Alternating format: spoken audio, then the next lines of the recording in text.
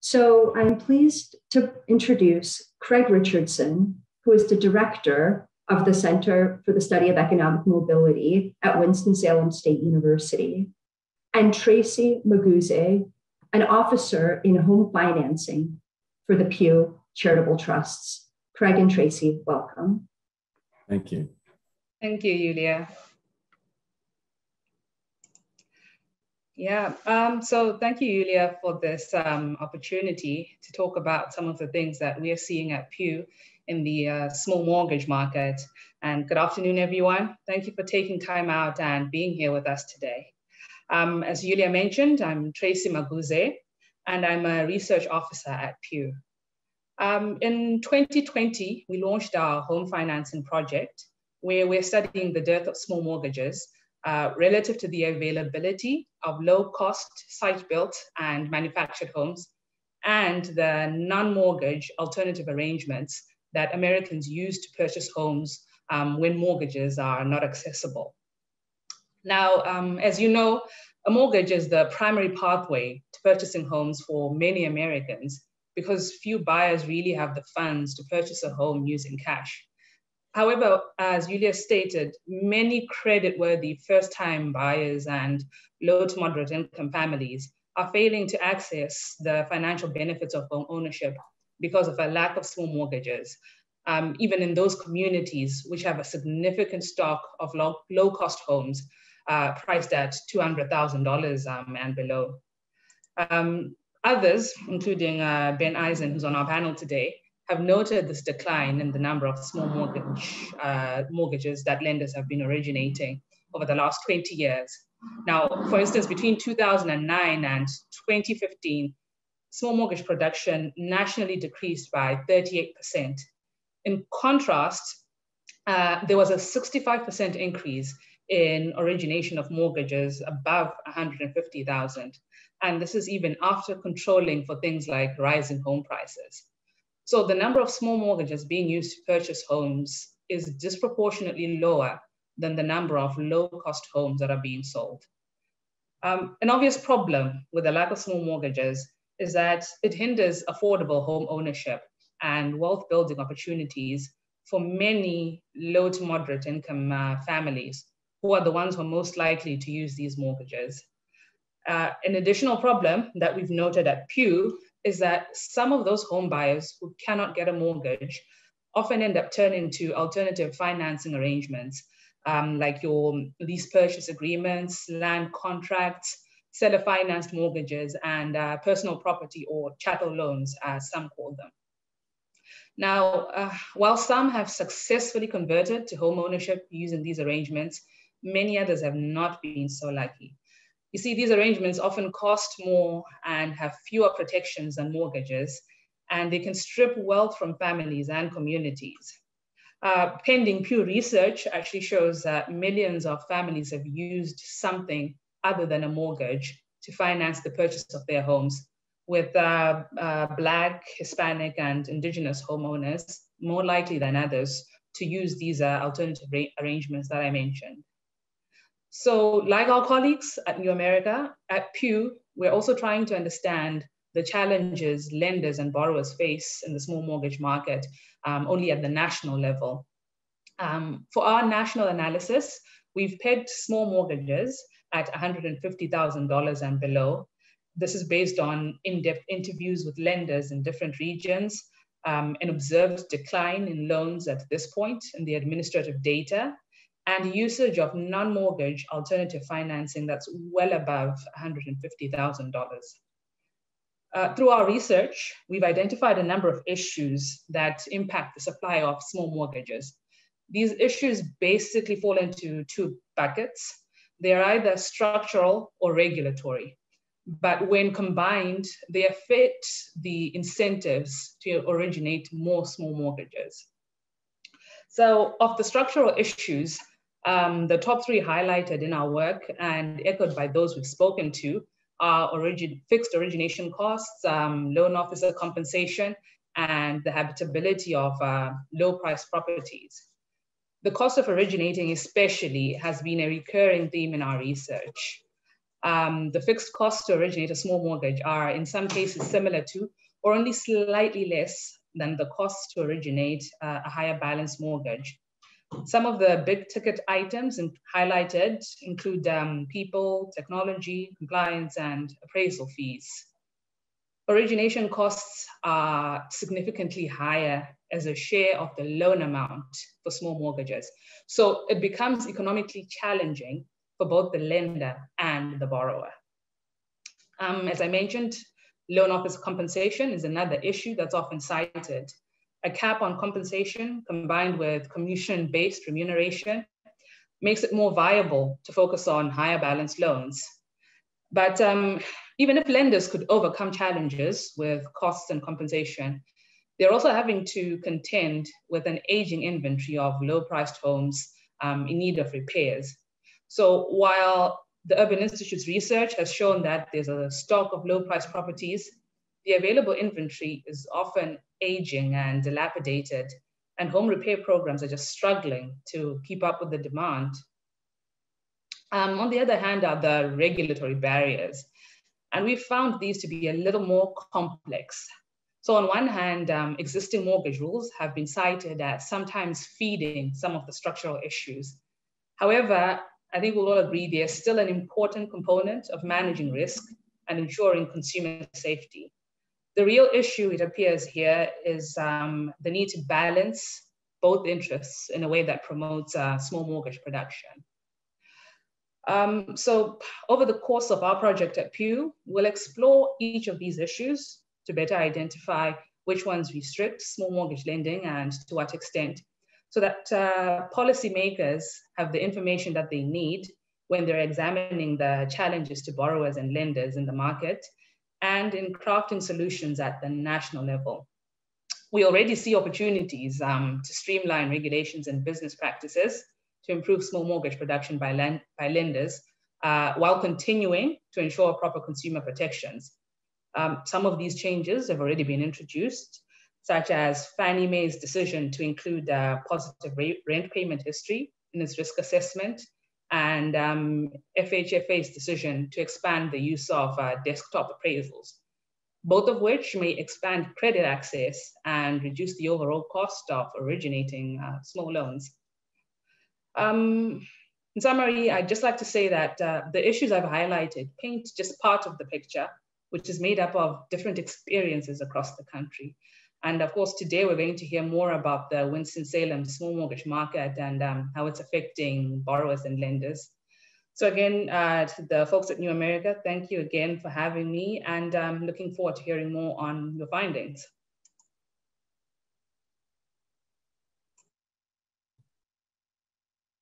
Thank you so much, uh, Tracy, for giving that nationwide sweep of this problem. And thank you, Yuliya. Uh, it's been a real pleasure for us to work with New America as a research team uh, together, such a group of talented individuals. And it's taken months and months and months to uh, uh conduct this research with interviews with county officials, real estate lenders, other experts, and we, we certainly have a long list of people we thank in our report. Well, first of all, why Winston-Salem and Forsyth County? First of all, well, for those of you who are tuning in today um, who don't live here, our Center for the Study of Economic Mobility was established at Winston-Salem State four years ago to study a perplexing problem, which is why is the country's uh, one of the most desirable medium-sized cities, Winston-Salem, according to U.S. News and World Report, also near the bottom in terms of economic mobility according to a landmark study by Raj Chetty. East Winston, particularly uh, the Black and Hispanic side of East Winston, has a huge disparity in income, wealth, and economic mobility. And you can see, um, if we can see the slide that comes up, um, how where we are with uh, in terms of the state and with East Winston. We are located, uh, Winston-Salem State, on the east side of 52, and East Winston is going to be the area that we talk about today. So in four years, we've learned a lot, including that Winston-Salem and Forsyth County are not unique. In fact, there's an enormous swath of towns and cities that faced issues that have to do with broken rungs on the economic ladder. And the ability to climb these rungs is harder than it used to be, particularly at the bottom. Next slide, please.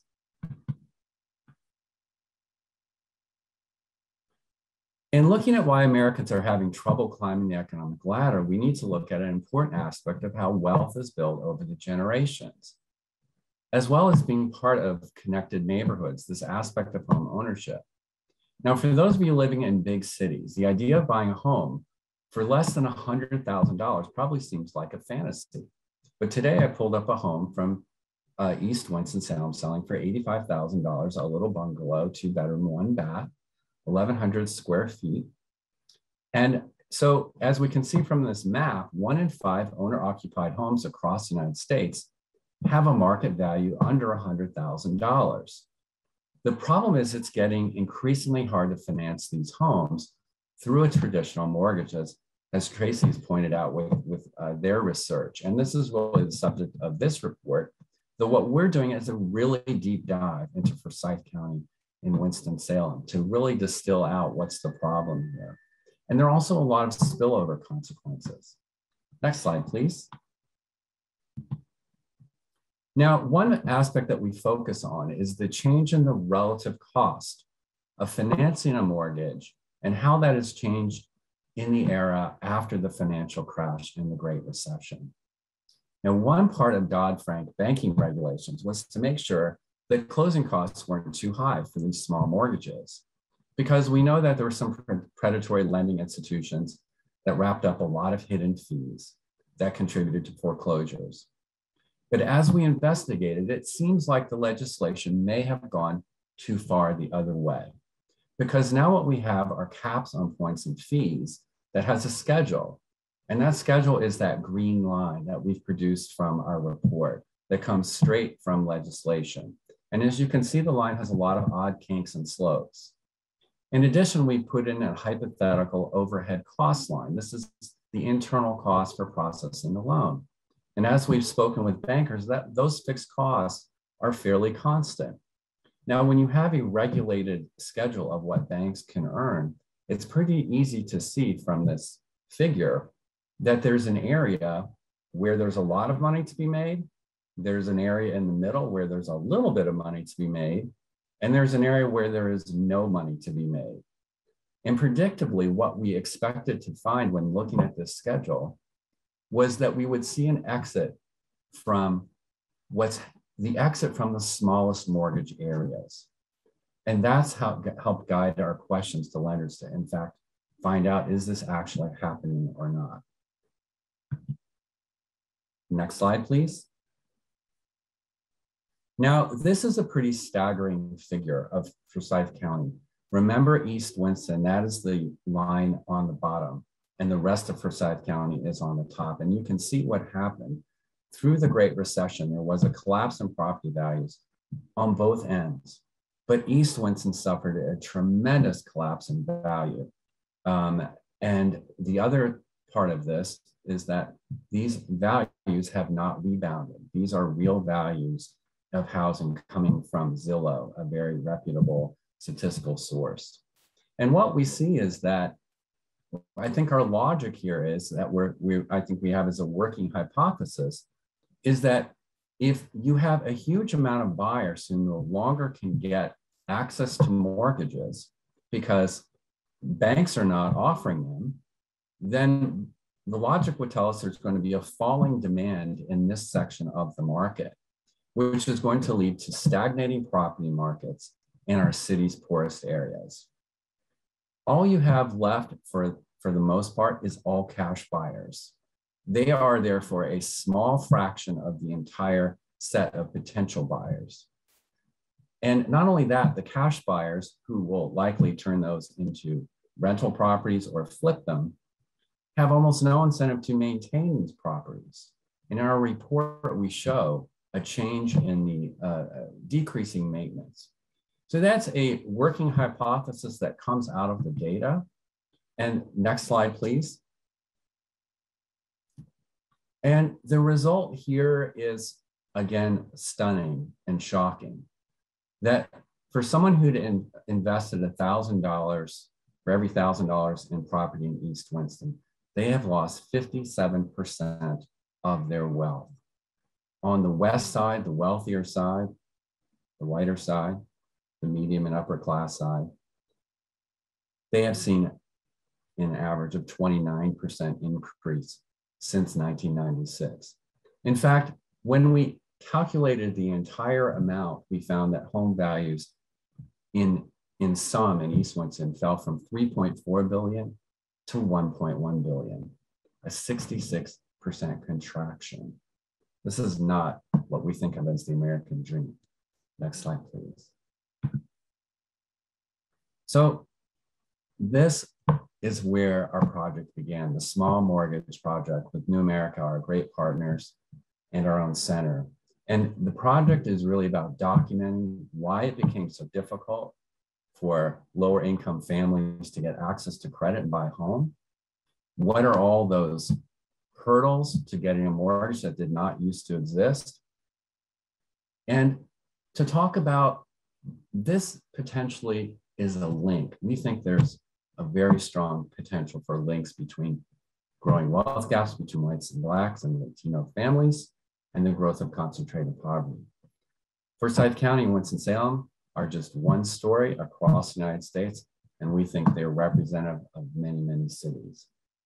So now I want to hand it over to Sabiha and Zach, um, who have worked uh, extremely hard as lead authors on this report to get more in depth into the report and talk about how this got became so difficult. Thanks so much, Craig. Um, if you don't mind just pulling up our slides. Um, I can get started though. Um, so yeah, hi everyone. My name is Sabiha Zainulbhai and I'm a senior policy analyst at the Future of Land and Housing team at New America. Um, I'm one of the lead authors on the report that was released earlier today, along with my colleague Zach, um, and we are going to be sharing some of our findings from the report um, called The Lending Hole at the Bottom of the Homeownership Market. Um, so Tracy and Craig really did a great job of setting up this issue, uh, both at the national level and also um, contextualizing it in uh, a local housing market of uh, Winston-Salem and Forsyth County, North Carolina. Um, so what Zach and I are going to do is just walk through um, some of our findings specific to uh, Forsyth County and Winston-Salem from the report. Um, so we explored some of the major challenges related to the increasing difficulty for low and moderate income Americans to access home, home ownership. Um, and building upon a lot of the great um, existing research done by Urban and Pew and um, some of the great reporting that's been done on this issue, nationwide, um, we largely used ATTOM data and Home Mortgage Disclosure Act data, um, as well as findings from 31 qualitative interviews that we did with real estate agents, lenders, and housing leaders um, to better understand how national trends um, for small dollar loans and small dollar homes play out in a local housing market. Um, so just a note, we use $100,000 as a cutoff for both uh, small dollar loans and small dollar homes um, in this report, meaning um, anything we explore lo the loan market below $100,000. Um, and that cutoff is intended to convey a point below which mortgage, lo mortgage loans are becoming increasingly less accessible, but that really varies across the country. Um, and Tracy mentioned before, um, other researchers use other cutoffs as well. Um, so next slide, please. So as Craig discussed, um, Winston-Salem, North Carolina is in many ways a prototypical US city in that it's geographically segregated by race and income, um, divided in large part by US Route 52. Um, and we're particularly interested in East Winston, which is a collection of neighborhoods. Um, you can see it in the left-hand chart um, designated uh, by purple.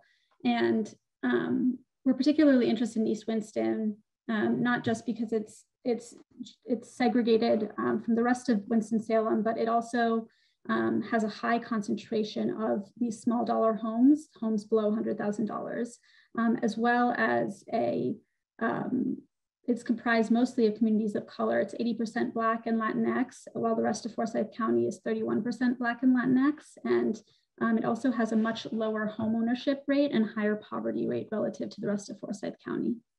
Um, and so Craig mentioned that across the country, um, affordable homes, homes under $100,000 do exist. And the same is true in Forsyth County. We see that 30.4 30.4% of homes are below $100,000. And like I said, most of these homes are, um, there's a high concentration of these homes specifically in East Winston, which you can see in the map um, that's from the report on the, um, on the right.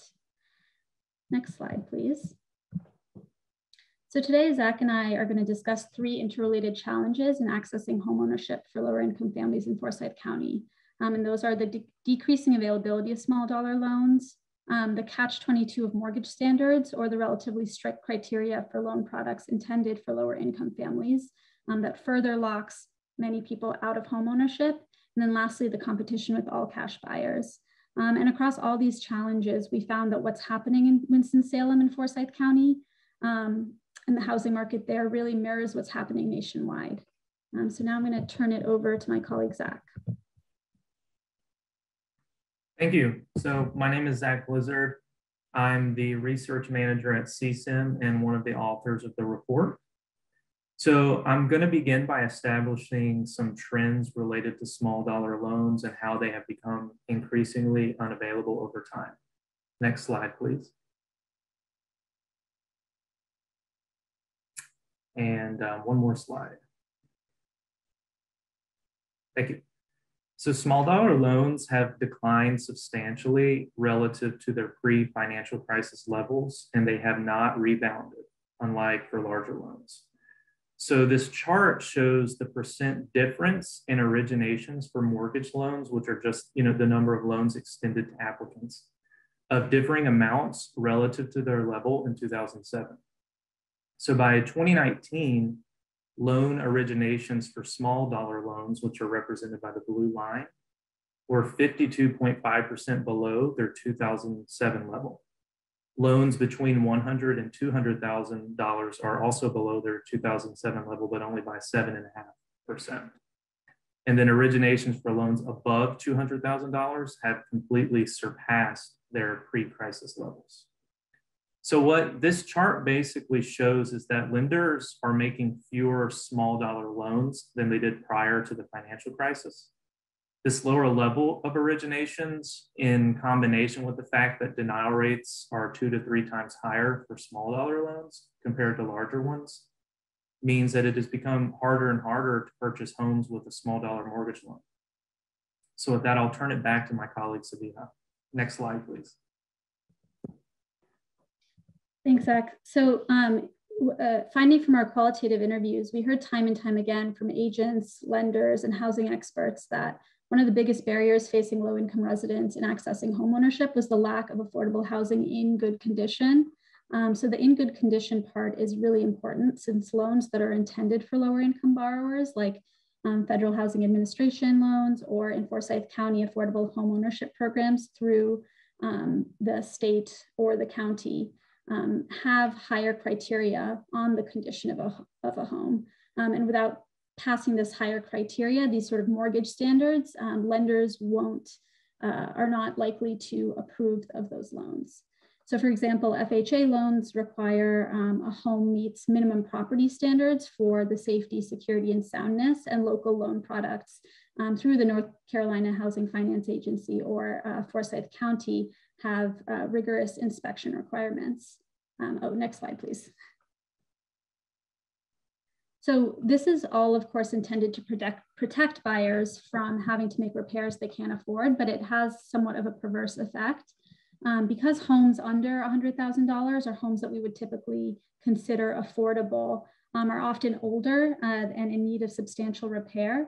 Um, that relatively poor condition of these small dollar homes in combination with these stricter um, standards on the condition of the home um, for some of these uh, uh, more accessible loan products kind of creates this catch 22 in which the buyers who most need financing find it most difficult to access.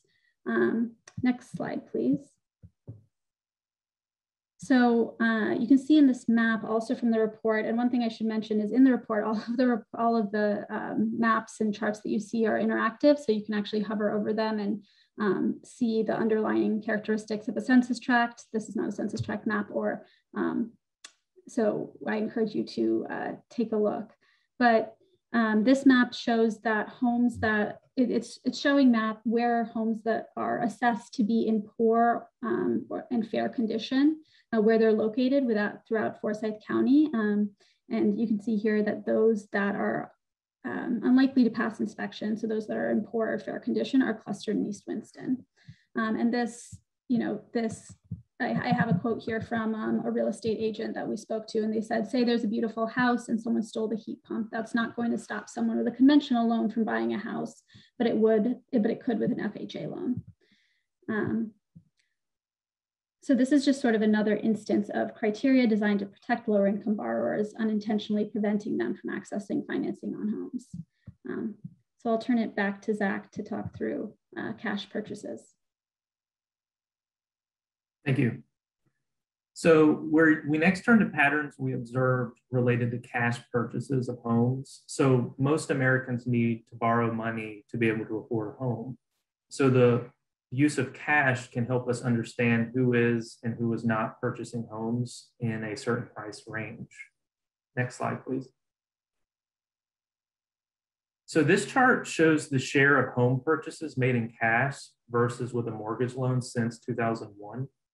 So we can see in this chart that there has been a slow and steady increase in the prevalence of cash purchases of homes in Forsyth County, but that trend leveled off and kind of remained stable since 2013. But the primary takeaway is that mortgage loans have always been more prevalent than cash across all home purchases. So today, around 64% of all home transactions involve a mortgage loan, and around 36% involve cash. That being said, things look very different when we look only at the market for small dollar homes. So if we can go to the next slide. So today, small dollar homes in Forsyth are three times more likely to be purchased with cash than a mortgage. So as you can see in this chart, there has been a steep and steady increase in the prevalence of cash among small dollar purchases since at least 2001, when the percentage of small dollar homes purchased with cash was just around 25%.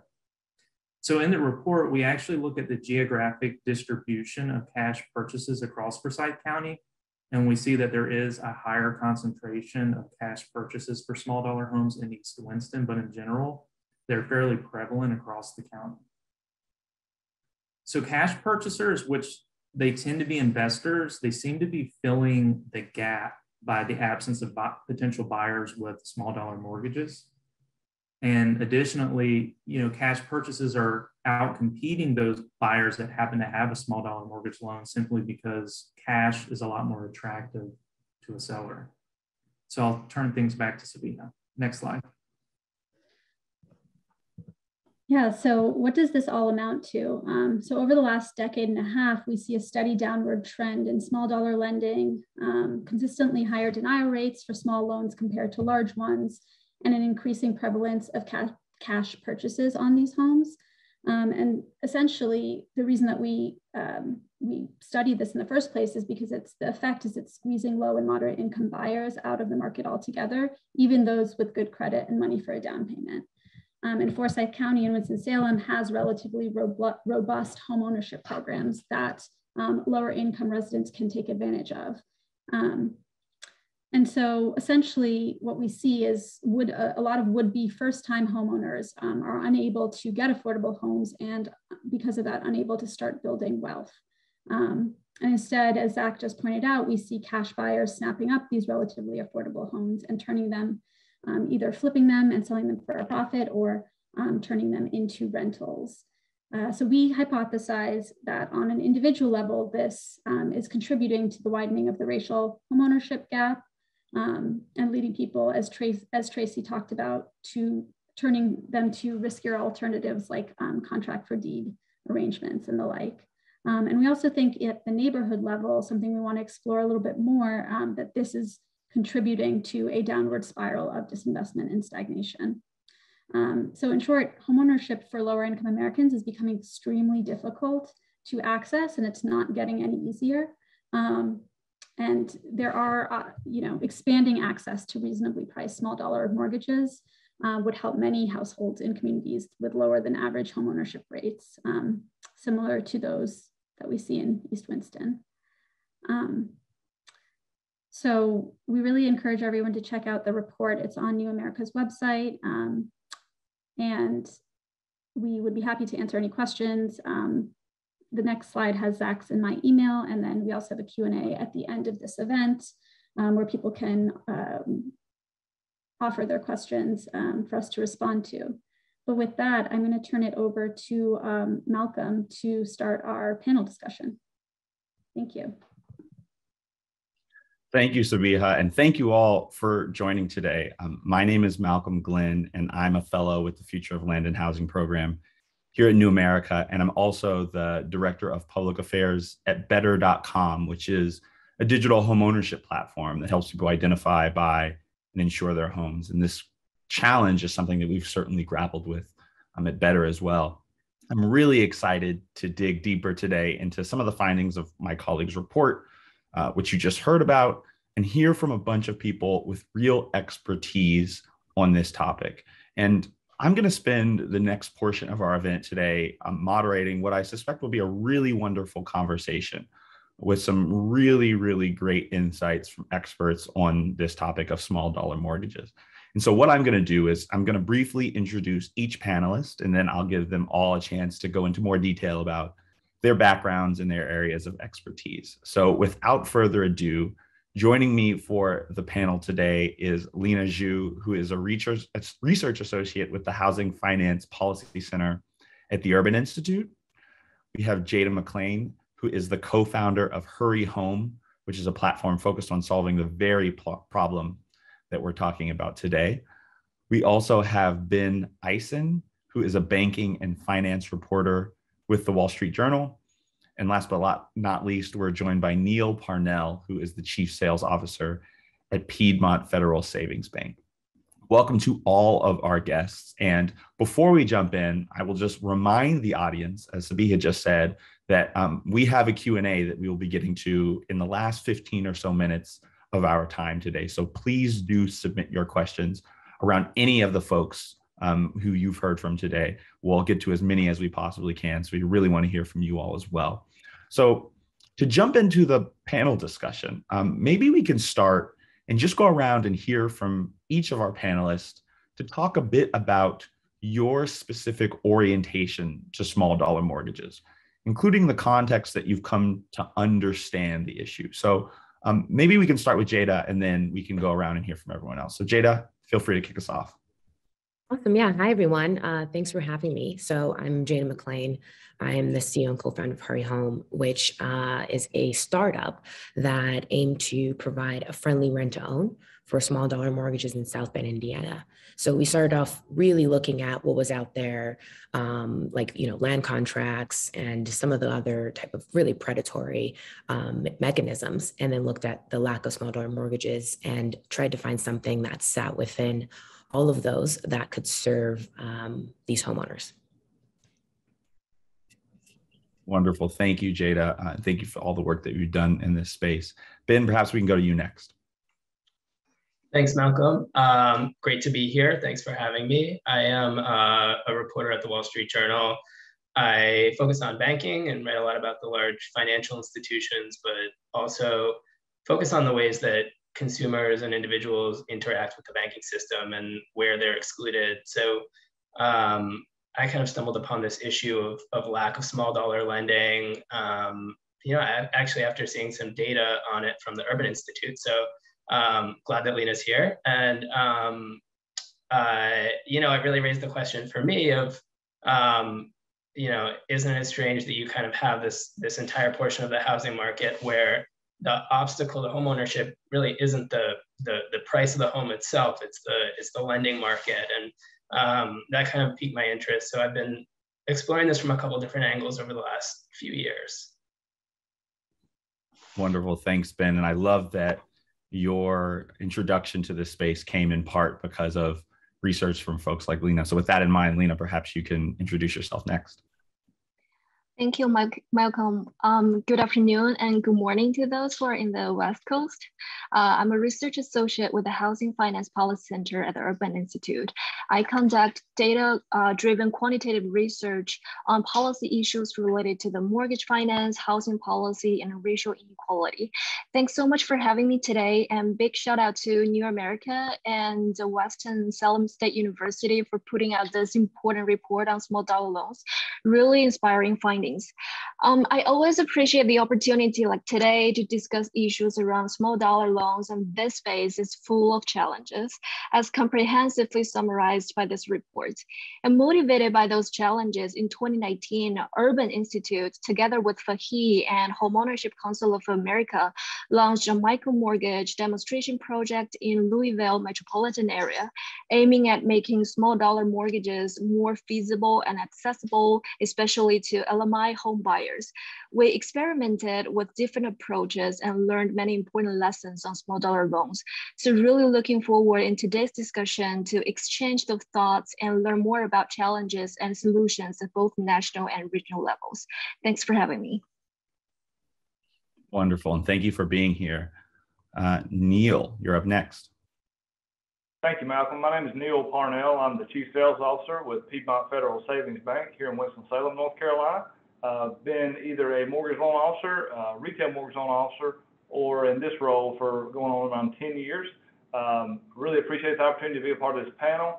Um, this is something we try to keep our, our ear to the ground on um, quite a bit to, to continually adjust our products, try to, um, to focus on being able to help um, LMI borrowers. So thank you again. Wonderful. Thank you all for those introductions. I think you all bring a real wealth of expertise to this issue. And uh, I, I, suspect that you've all probably drawn upon your respective areas of expertise in your own journeys um, exploring this issue.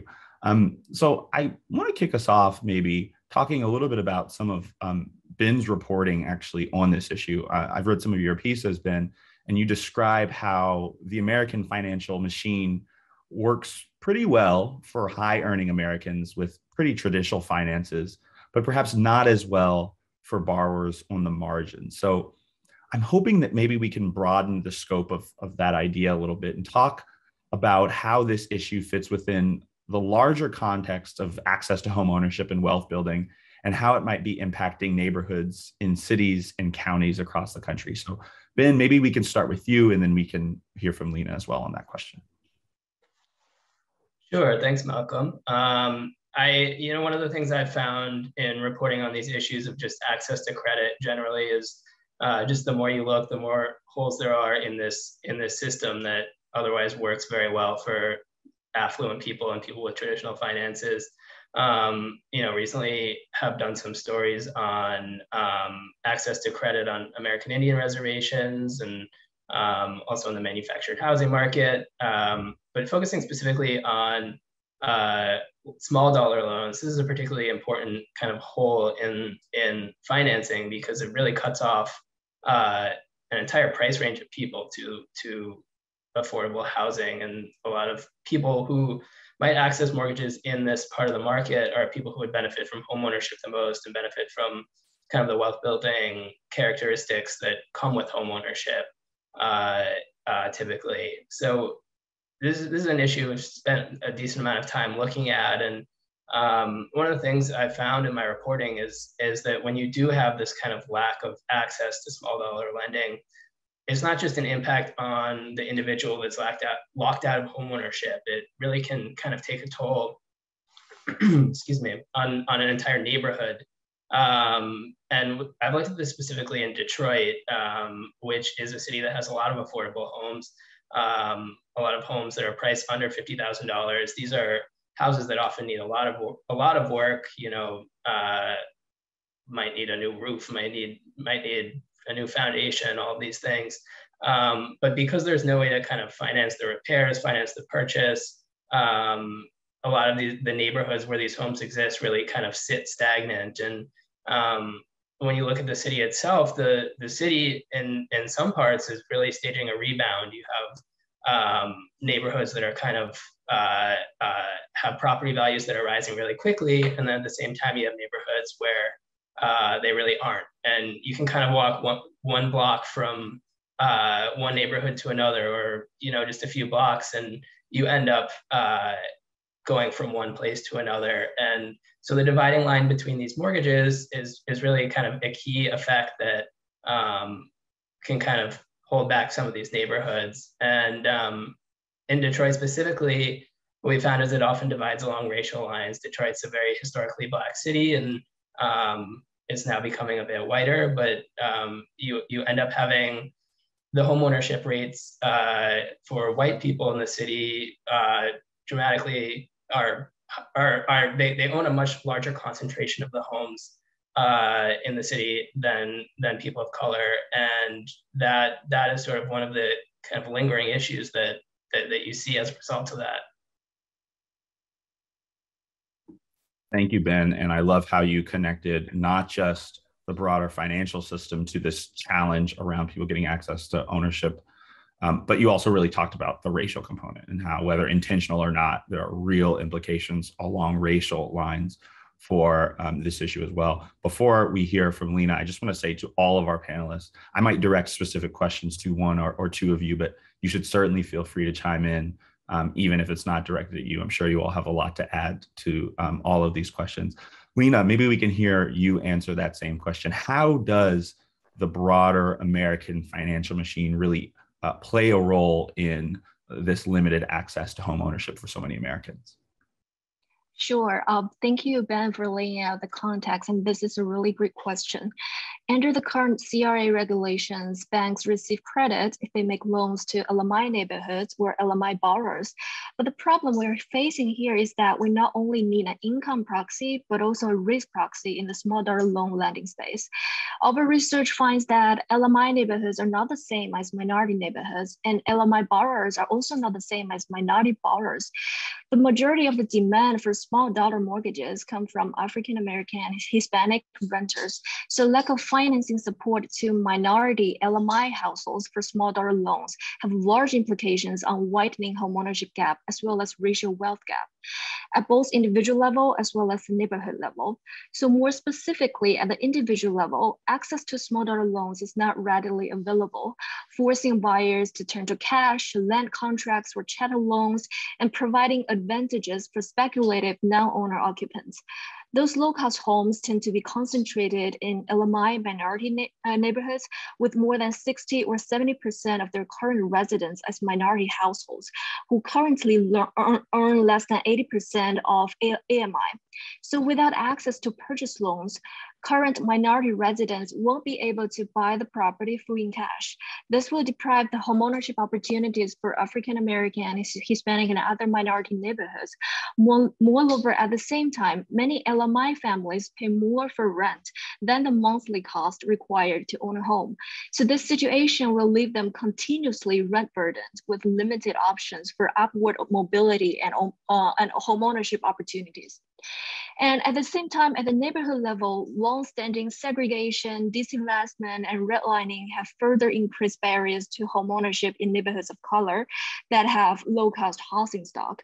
Neighborhoods concentrated with large number of low-cost homes tend to have very limited resource of allocation measured by economic opportunities and education resources.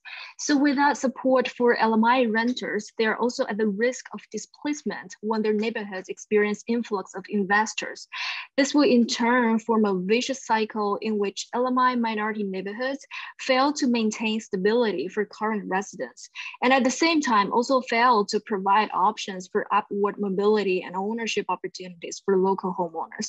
So um, I think it's a problem that needs a holistic approach, uh, but the first step is always to raise the awareness for the public. Thank you. Yeah, thank you, Linna. I really appreciate you speaking to that. Neil, I just saw you come off mute. If you want to add something, please go ahead. Sure. Thank you, Malcolm. And, and I will touch on this a little bit from the from the lending standpoint, from the, the banking as well you know, looking at the current economy, there's been so much stimulus money that's been put into the economy over the last 12 to 18 months. One of the, the most recent things that we're seeing is, is you've got you've got consumers out there that have quite a bit of liquidity that they're sitting on right now, and they're looking for a yield, and they can't get those those yields that they're needing sitting in a bank because the interest rates are so low on deposits. So what they're doing is they're taking that money and they're driving up the prices, uh, the asking prices and, and the, what the contract prices of these homes, which is is outpricing the, the the small dollar mortgages or small dollar affordable homes, which is taking up that inventory. So uh, we talk about kind of the, the, the American machine and, and how that works and how it's driving this. This is what's what this continual cycle um, you continue to see, and this is what's making it so difficult is folks are looking for yield, and it's, it's basically the, the market in itself which is making this very difficult um, and causing the, the inventory shortage as well. So just wanted to add that. Yeah, I appreciate that addition. And one of the things that I heard across what all of you said is that despite the fact that there have been um, efforts put in place to sort of exactly mitigate these type of circumstances you know all of these different interrelated issues have brought us to the point where we are now and there's a level of complexity at play that makes uh, solving these problems really challenging that's something that i've heard from some of the folks who i've talked to who have actually been involved in the process of trying to buy a home and have found it really difficult in part because of that complexity um, jada maybe we can turn to you with that in mind um, you're someone who actually works with potential home buyers uh, and have done so in the past as well. I'm wondering if you can share more about who, from your perspective, is most impacted by this issue and whether there are aspects that we may be missing when we're examining this issue through the sort of high level lens that we always take. So, Jada, I'd love to hear from you, and then anyone else who'd love to chime in on that question after Jada, we'd love to hear from you too. Yeah, definitely. So it's it's it's so funny that that like you guys ask about the profile of the person because I often describe the profiles person as as the everyday American. Um, so it'd be, you know, people that may have never left their hometown, you know, strong roots in their community, born and raised, and have no intention of leaving. Um, for us, the average income was about forty-one thousand dollars was what we were seeing. Um, and I mean, now we can say they're essential workers. You know, they're the bus drivers, they're factory workers, they're CNAs. Um, they're people that are like hardworking people that are working full time jobs. I mean, sometimes they have their own businesses, they're business owners, they're creating jobs. Um, and so it's like hard to say who's kind of within that group. Um, but we know the ones that have been the most successful in our program. And I guess I can go a little deeper on our program. It was, it's a we looked at everything that was out there and we said, what can what, what can we create that um, aligns the incentives better, um, so as to not not uh, you know get, get uh, as so as to not um, limit the amount of families that are able to convert to full homeownership. Um, and we came up with a 10 year product um, where we where it's a friendly rent to buy um, and we realized that over a 10 year period um, the families do so much to care for the house that they should get credit for that and as, as investors view that um, families also long-term residents save them a lot of money on property management, on, on, turnover, and, and other expenses. So we applied some of that savings back to the family in an earned credit. And then that, on top of um, their monthly payments, was able to allow them to accrue 100% ownership in the house at the end of a 10 year period. Um, so the families that we have had been really successful with this are, again, some of those everyday Americans, but the ones that were totally ready to be to be a homeowner and we determine that by you know two years of positive rental track record um, and utility track record, and then making sure that their monthly payment is below a 30%, 30% of their gross monthly income. Um, so because we put those thresholds in place, we had families that have even left their houses, you know, within four years and was able to walk away with um, a big lump sum of cash that is, you know, the, the beginning of generational wealth. Um, or they could use to, to maybe purchase a, a, a higher value house or and then some people that have actually paid more than they needed to on a month to month basis to then earn the homeownership in their house um, so it's it's definitely not the families living on the edge it's it's the families that you know have been been paying their rent and can demonstrate they've been doing that um, but with the and and if you give them the right structure, which we kind of did with with the kind of guardrails of you know 30, no more than 30% of their income and making sure that they had a demonstrated record, which we actually took that from Urban Institute. Um, there was data on if, if a family had more than two years of positive rental payment history, it is likely that they, they will not um, default. And, um, and then they're able to really cash in on some of the city's homeownership programs and then they're even able to start to build credit because that was definitely one something consistent is our families did not have meet the credit threshold their average was really around that like 560 580 that's really helpful and i love that you described you know um, the the folks who find themselves in these situations as everyday americans because i think that's exactly right. These people are going to work trying to provide for their families the same profile as everyone else who has this dream of engaging in the home ownership space. Any other folks maybe want to talk to how they um, envision the profile or at least in their experience who they've seen who's really most impacted uh, by these challenges I'll jump, I'll jump in there, Malcolm. Jada, I wholeheartedly agree with you. This is, this is the everyday American. It's also, you know, we, we work with first-time homebuyers on a day in and day out basis, and, and we're trying to educate folks to make sure exactly what you were saying, Jada, is make sure you put a guardrail in place that you tell, you give them an idea of what their monthly expense will be, so that they one, they can comfortably make that payment, and, and two, build that equity um, in that home one of the biggest things that we see a, a struggle and a, and a, challenge is is making sure, and, and in this environment, it, it's even more complicated, is making sure that we can come up with that down payment. And I will tell you, for, for years in the Winston-Salem market, uh, we felt like we had a we had a competitive, um, affordable first-time homebuyer program with a 97% loan to value.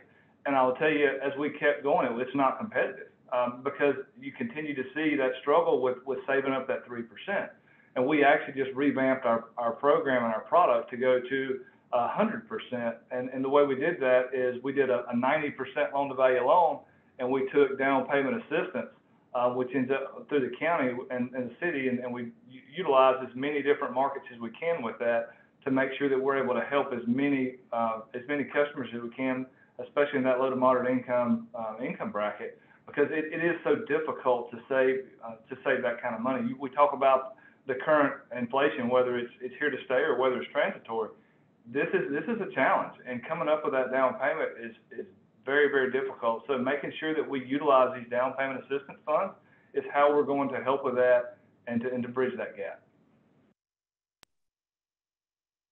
All right, Jada. Yeah, I'll just make one comment regarding the the down payment. Um, very, very true. I think for us, our families could come up with fifteen hundred dollars maximum. That's it um any like they can maybe get that a part of it as a gift from other family members or maybe from the other people that were in the household but that's it. But like so how we end up thinking about that um when we were developing the product was was like of course from a risk perspective but i think the for us to determine the risk was how painful is it for that family to come up with that money and that's kind of how we thought about the amount of down payment that would that we would need to require from from the actual family. And then we did go to the city of south bend and was able to get a little bit more to um, supplement the down payment. But our main question was is this a painful amount for, for the family to give us um, and to invest in their first home? Yeah it, it feels like all of you in some way have spoken to the importance um, of cash in this equation and the challenge for so many families in coming up with the cash for say the down payment in order to get that small dollar loan by contrast of course there are all of these people who are coming in with all cash offers and part of what exacerbates this problem is that sellers have cash buyers at their door. And so it's easy for them. And the incentives are oftentimes aligned for them to just simply sell to the people who have that cash. Um, ben, maybe we can start with you. Can you comment on how you see this cash buyer phenomenon playing out um, and maybe what folks might be able to do to help push back against some of how this exacerbates challenges for people trying to get small dollar loans? Sure. I, I mean, I think it's important to note that uh, there are cash buyers across the entire housing market. Um, I was looking at some data from a few months ago that we had in a story that um, something like a quarter of home buyers in April uh, bought homes with all cash, and um, beyond that, more than half put uh, over 20% down on their homes. So even even without cash, you still have people putting down huge down payments. Um, that said, I think in the in this sort of small dollar um, housing market, you it, you have sort of this exacerbated this, this, this exacerbated issue of what you experience more broadly. And um, when the home prices are low you have makes it easy for someone like an investor to come in and purchase a home with cash uh, even if it's out of reach for um, sort of a lower income person that wants to buy the house. Um, and so going back to the example of detroit i mean one of the things that we found is that a lot of the homes that can be purchased for 20, 30, 40,000 dollars um, end up getting purchased by investors. Um, and there's sort of a long history of, of investors in Detroit uh, buying up homes and using more informal arrangements to um, rent them out or sell them to to uh, to potential buyers. But you um, it ends up being fairly uh, predominant in, in in that housing market, and um, I'm just thinking in particular of, of, one example, a woman that we interviewed for a story. Um, she didn't go to get a mortgage. She went to one of these investors to get a house. And because she entered into a more informal arrangement, it was very unclear to her what was what she was purchasing, whether she was buying the house. The paperwork said you're now the homeowner. Um, technically, uh, the company said it was a rent with an option to buy. Um, and uh, it ended up being a long legal struggle um, because she was sort of trapped in this informal arrangement. Um, uh, eventually, she did take ownership of the house, um, so there was a happy story at the end. Um, but but it, when you do have these cash buyers, you end up having a lot a lot of investors um, who can really come into this market, and I think we've seen that a lot um, during the pandemic with with the current housing market we have. Yeah, I appreciate that, Neil. You you you work at a bank, and so in some ways, these cash buyers are in in, in com- competition with you in in some respects. Maybe we'd just love to hear your comment on what impact they have on this small dollar mortgage challenge.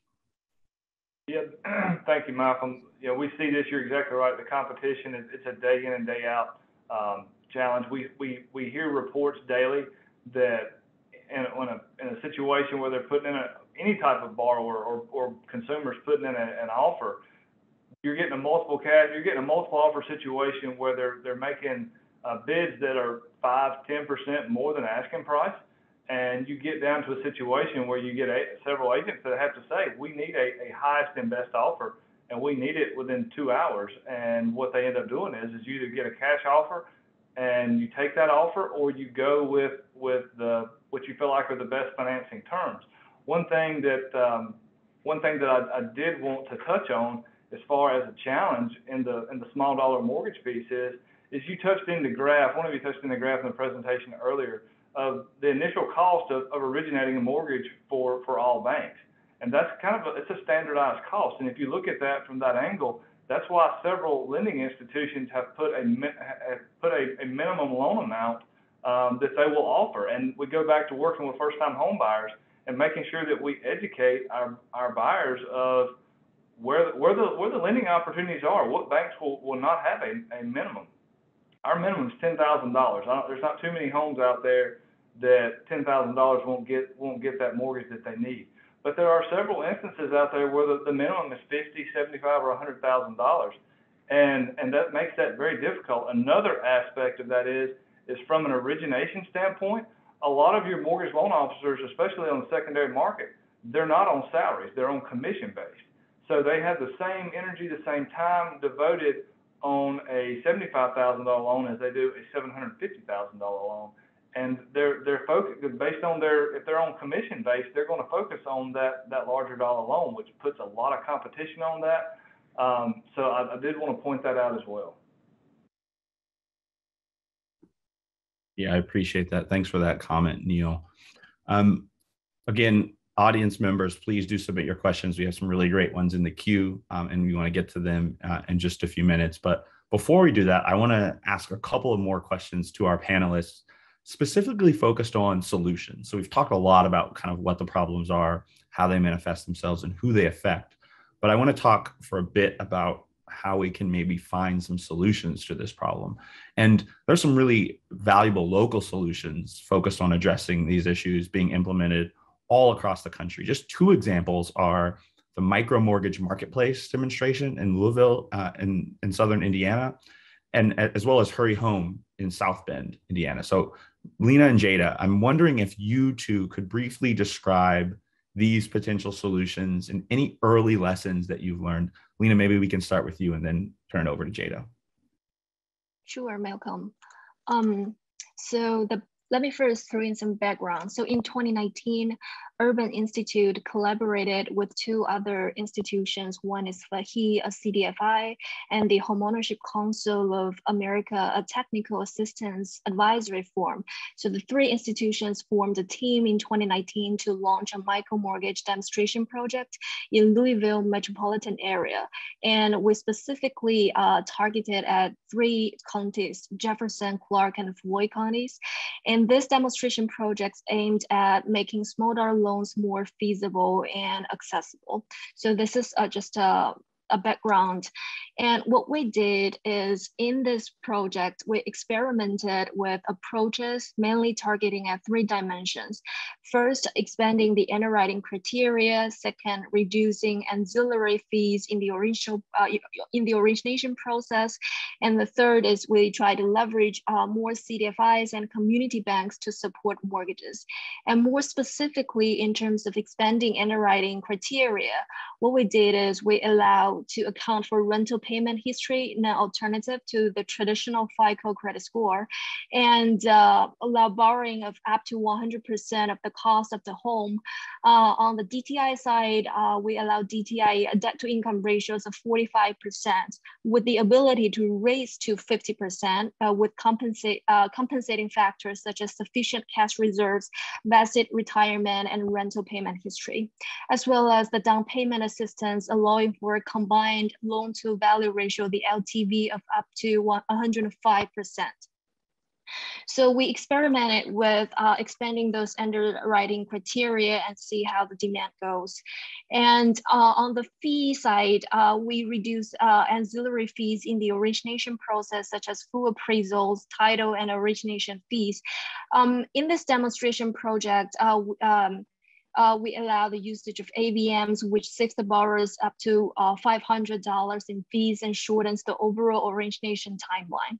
So those are the approaches we took. Um, and we learned really important lessons throughout this entire uh, process. Uh, I'd like to highlight two today. So the first one is um, by saying we provide greater accessibility and flexibility, there's always a cost here. Traditional mortgages that can be sold in the secondary market enjoy the low financing rates available in today's environment. And a loan, a loan originator um, must rely on alternative funding sources to be able to, uh, to offer a micro mortgage loan. Um, so at the, um, at the project onsite, Fahe, the CDFI, um, was able to tap a capital source that relied on funds originating from a bond program. However, uh, this source established our interest rate rate on the micro mortgage at 4.5% back then, which is higher than the market rate last year amid the pandemic, where the market experienced a historically low interest rate environment. So although homeowners with non-traditional credit often face higher interest rate through alternative lending sources, um, a rate that is perceived to be higher than the market has limited product adoption among potential home, home buyers, as well as real estate agents who can be reluctant to market the program. So this means, this lesson means that CDFIs need to secure more lower cost of funding to pass on a more competitive interest rate to potential home buyers, which is very challenging right now. And the second lesson we learned is the need for renovation financing. So often when we say low cost homes, uh, we say they are affordable, uh, but in fact, they tend to be old and in need of repair or upfront costs. However, small dollar mortgage credit is very scarce for rehabs or renovation projects in older homes, which means it is harder for LMI home buyers to maintain home ownership even if they can get approval for the purchase loan. So this means additional support is definitely needed to couple renovation financing with purchase and address and also address the appraisal gap issues in low cost market areas. Um, so I will stop there and turn it over to Jada. Awesome. Wow, that was that was amazing. Um, so our we have some similar learnings as well with our program. So our program is definitely not a mortgage. Um, so it was a uh, rent with a purchase option. And again, we kind of we looked for non-traditional funding sources because we weren't sure that you know we would be able to to tap in to to large amounts of traditional funding sources.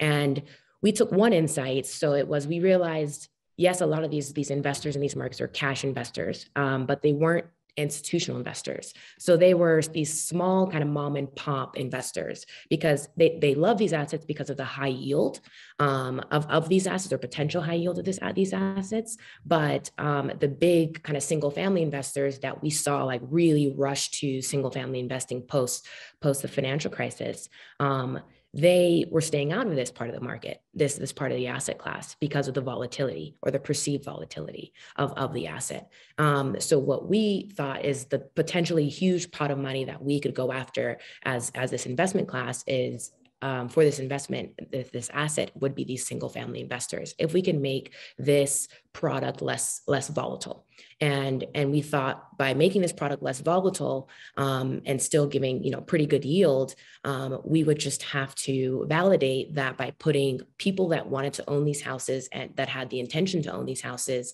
um, we could decrease the cost basis of property management.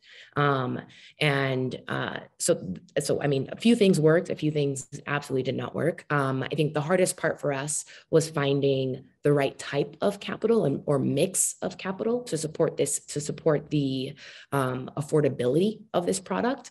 Um, and I think we got close with our initial product, but ideally we would have had a, just a, a, capital stack that had maybe a CDFI a loan from a CDFI, um, mission aligned equity from a foundation, so like MRI, PRI, and then um, some a small amount of, of, of, capital from like kind of like vanilla equity investors, um, where and then potentially maybe like a, a, PMI type insurance that was backed by by the city or something like that. So that would help to to maintain. One, I think it's really cool to have all these parties that are invested in the future of this neighborhood working together um, but also it would help help with the um, to drive the yield down that's required by the um, really just really to drive the yield down because now the perceived risk of this product would be would be less would be much lower. Um, and then another point would be credit credit was always a, was always an issue for the residents. Um, it was really tough to qualify in the beginning, especially because we were looking at tons of different types of documents to to make sure to to qualify families.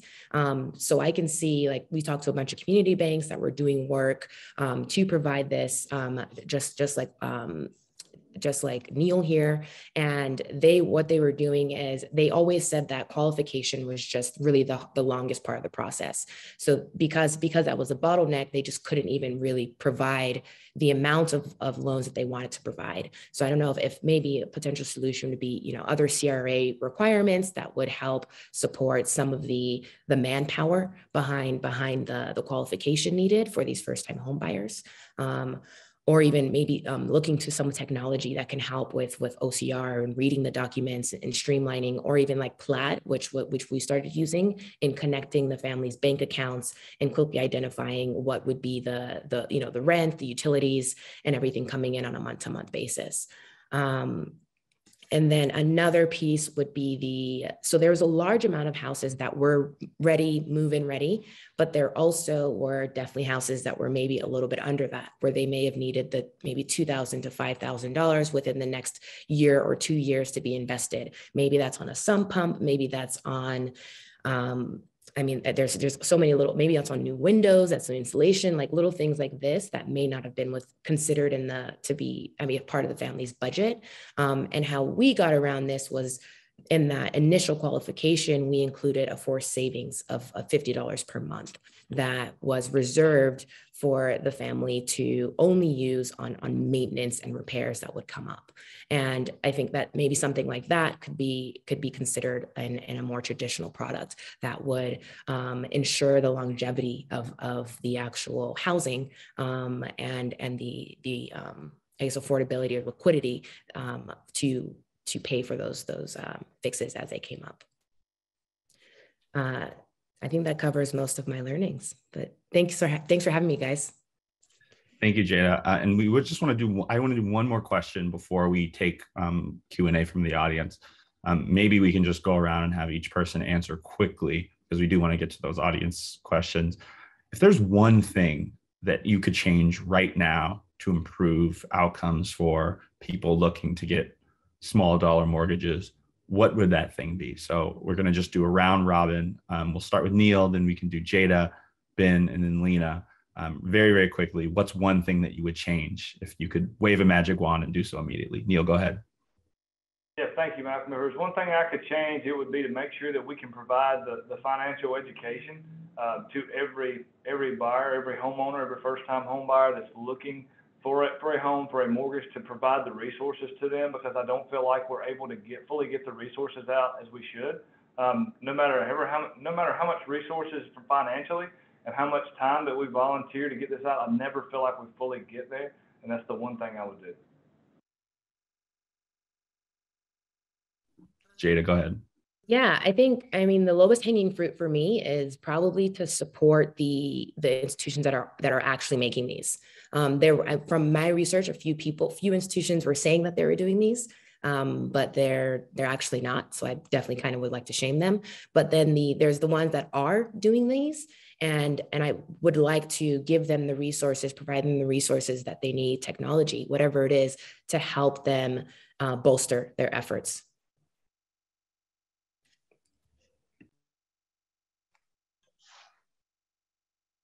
I think I'm next here. I uh, uh, I'm not sure I have one answer in particular, but um, when I think about all of the sort this issue, so much of it goes back to kind of a historical legacy of um, of exclusion, and it's not just necessarily small dollar mortgages, but I know Jada was talking about how some of the some of the home buyers are not necessarily prepared credit wise to uh, to become homeowners, and I think a lot of that goes back to the fact that a lot of these same neighborhoods that don't have access to credit are also underbanked, and so you have um, some of some of these sort of larger historical issues that that need to be fixed as kind of like a, a baseline in order to be able to to make small dollar mortgages.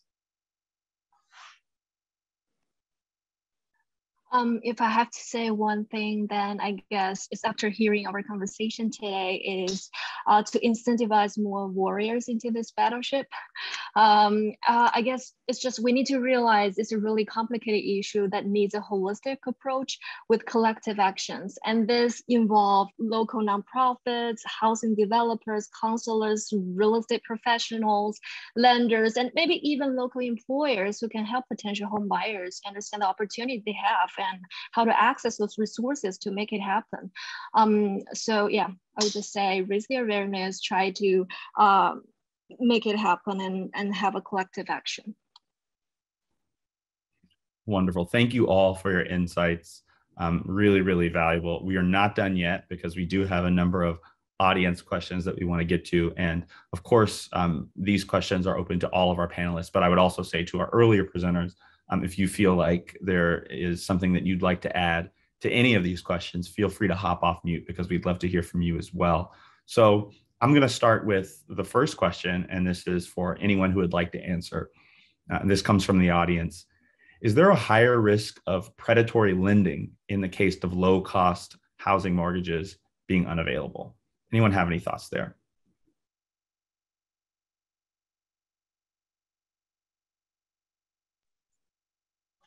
I'll uh, I'll take a stab at that. I'm not sure I have any numbers per se to back it up, but just in interviews with homebuyers who can't get access to to small dollar mortgages, we have I have found that they are they tend to be more likely to turn towards these alternatives and um, uh, I'm not sure there's one necessarily one answer about whether the alternative is predatory or not. There's some there's some very good options and there's some very bad options, but um, I have found that and there are a number of specific cases where people do end up in these very complex situations and might lose the, the home as a result if they use an alternative um, type of financing, like like a contract for deed or such.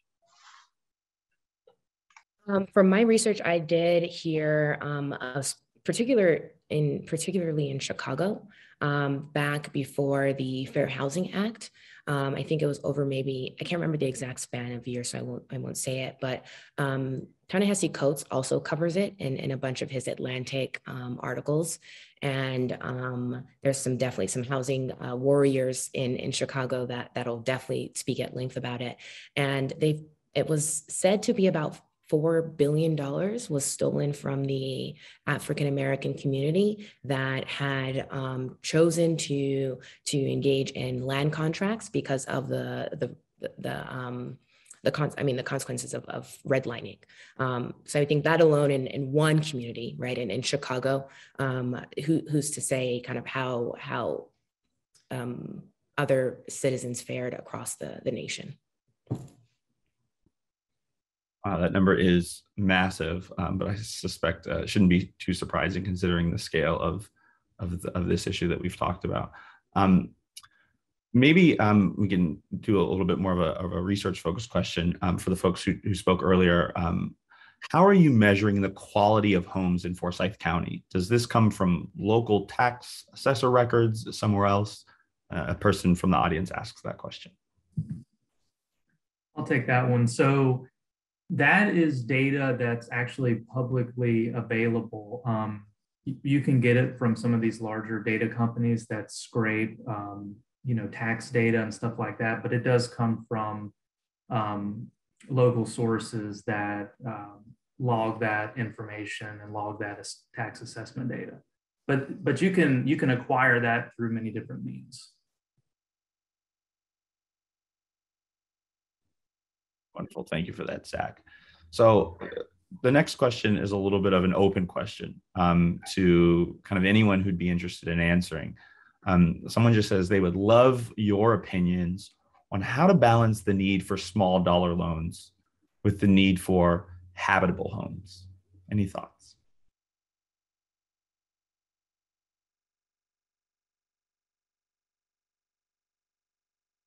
I'll jump. I'll jump. I'll take this one, Malcolm. This is um, this is kind of a new, newly developing project that we are are working with currently.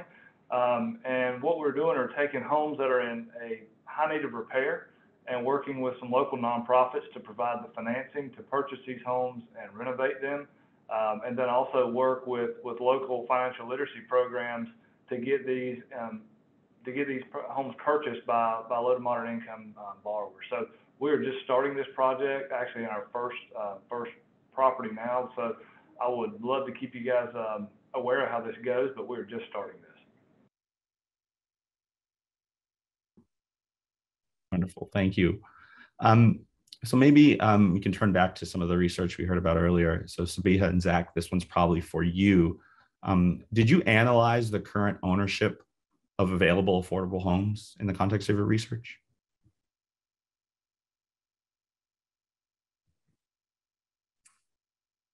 I can take that if Sabiha doesn't want to. Um, so we we didn't dive too deeply into that. I think that's that's probably going to be an, an area for a deeper dive for maybe some follow-up research. Um, I mean, we looked into what percentage of those affordable home stock is owned by um, investors using our the particular data source that we had.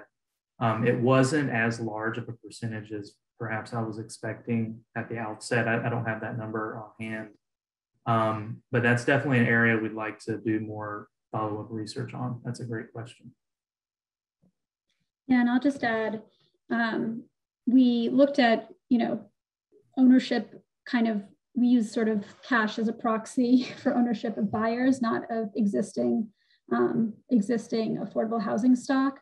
Um, but another uh, sort of area for deeper dive is the presence of institutional investors, which I know that Jada mentioned, um, and looking at the, you know, there's obviously a lot of um, a lot of interest in this topic um, with Wall Street and hedge um, hedge funds, um, interest in real estate investments recently, and so we um, have looked a little bit and did a lot of qualitative research on the presence of institutional investors and really trying to tease out um, who is a large investor uh, versus sort of those more small mom and pop investors.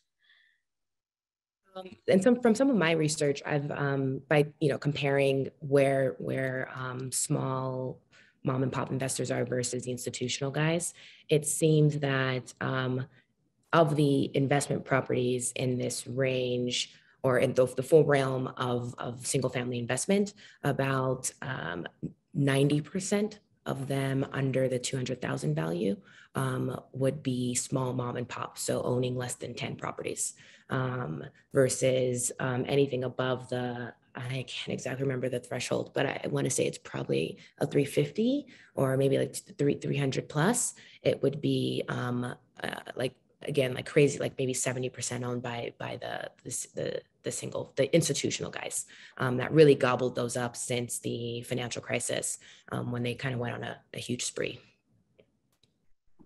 Jada, while I have you, just a quick question for you um, from an audience member. Uh, out of curiosity, how many home buyers has Hurry Home helped and how large is the current lending portfolio? Yeah, pretty pretty small. So we've only helped about 15 families, of which um, now we have maybe three of them that are homeowners of their house. Um, I think we've we had some really cool cases where you know some of them were in self-employed um, and they had been living in their house for nine years plus, and we came in and, and helped them purchase the house and in in three years they they finished purchasing it all. Um, so really you can tell like these are these are high quality borrowers. Um, and then uh, we've had one woman actually recently she wanted to leave her house so we sold it and she walked away with $15000 um, which is just it's it's like money she would she would never see otherwise. Um, and so yeah i think the limitations for us is is the capital like finding capital that is mission aligned enough that's not going to push us to be too unaffordable for for the home buyers. Um, because finding that that balance between yield um, and and affordability honestly has been been really really tough.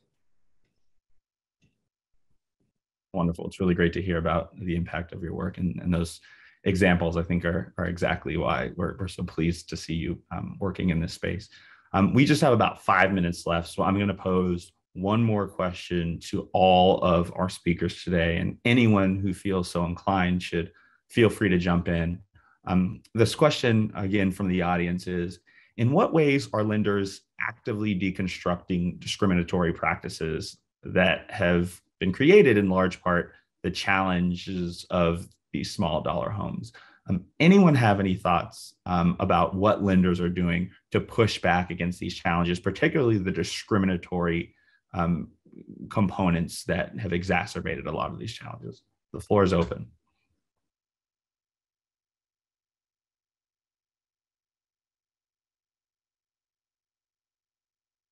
I'll jump in there, Malcolm. Um, and one, one thing there are several lenders are going away from the commission-based um, compensation of mortgage loan officers going to salary-based. Um, I will tell you that's a, that's the way our entire model is, is salary-based um, to make sure that, that we're able to help everyone that needs help. Um, and we're not, not putting any type of favoritism. Um, another thing is, as we talked earlier, continuing to look for down payment assistance. Um, that, that's, that continues to be key.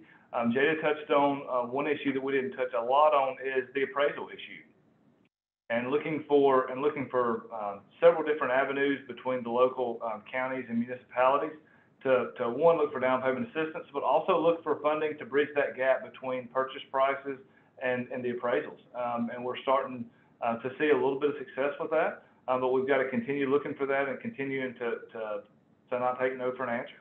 So, couple few ideas. Thanks, thanks for that, Neil. And I'll just echo what you said.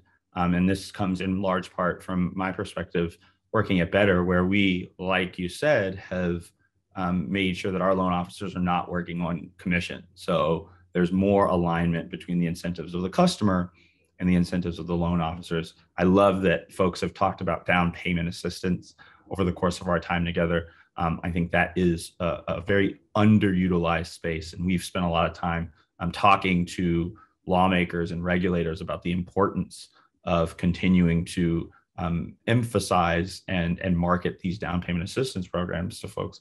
And I'm also really pleased that you talked about appraisals. At Better, we have um, a really wonderful uh, appraisal expert, woman named Jillian White, who's done a great deal of extensive research over the last many months and years about how we can make what has historically been um, a very homogenous industry that hasn't taken into account a whole lot of input from outsiders. How can we make that industry a little bit more thoughtful about some of those discriminatory practices that you all have mentioned? So um, I think those are really great examples. But speaking uh, as someone who has a foot in the industry, I think our industry has a lot more to do. And so I'm appreciative of that question. And my hope is that um, the next time we have a convening like this, there will be a lot more inputs from industry players about the work that we can do to push back against some of those discriminatory practices. Um, so with that, I just want to say thank you to all of our panelists and speakers. You all have been really, really fantastic and your insights have been just exceedingly valuable and I know will uh, help continue to enliven the research and the conversation around this topic. Um, before we leave, I'm going to pass it back to my colleague, Yuliya, who's going to close us out today. Thank you all so much. Great. Thank you, Malcolm. And thank you to all of the panelists and presenters for a really rich discussion. I have a feeling that uh, this will not be the last we hear of this uh, topic. There's clearly so much more that needs to be done. Uh, but for now, I would like to thank all of you uh, to the audience. Uh, please take a look at the report that came out today, and it should be the link to it should be on the bottom right of your screen. And uh, wishing everybody a lovely rest of your afternoon.